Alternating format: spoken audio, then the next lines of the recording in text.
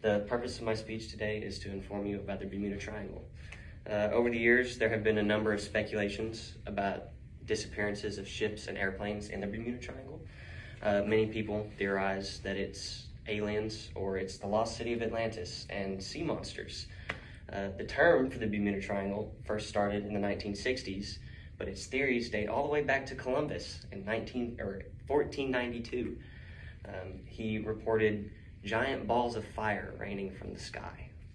Obviously, we don't know if that's true or not because he's dead. So we just kind of have to go off what people say.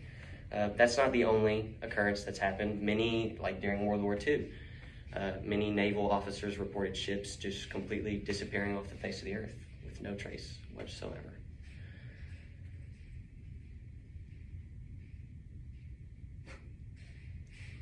What is the Bermuda Triangle? uh, it is a 500,000 square mile area in the Atlantic Ocean that connects the southern tip of Florida to Cuba, all the way up to the island of Bermuda out in the middle of the Atlantic.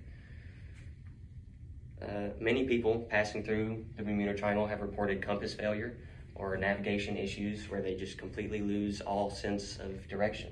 They have no clue where they're going, their electronics don't work or anything like that. Um, Although, despite all the exaggerated claims about the Bermuda Triangle, there have only been 50 recorded ship disappearances and 20 airplane disappearances over the last 60 years. Uh, every day, there's hundreds of thousands of flights and boats that pass through the Bermuda Triangle with zero issues whatsoever. So, most of it's just these random occurrences that people go off of.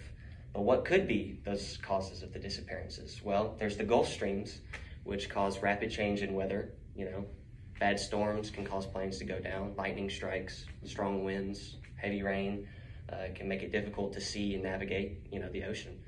Big waves can crash into ships and make them sink and stuff like that. Um, there's also tropical storms.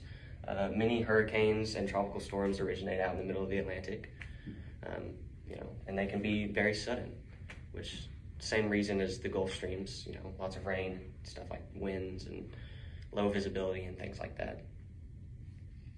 Uh, there's also a lot of tiny little islands out in the Atlantic, which cause shallow areas of water, which makes it difficult for ships to navigate through. You know, shallow water means you could run a land. Uh, uh, considering all of these different variables, um, it's safe to assume that there are no sea monsters, there are no ancient aliens, and it's all just due to terrible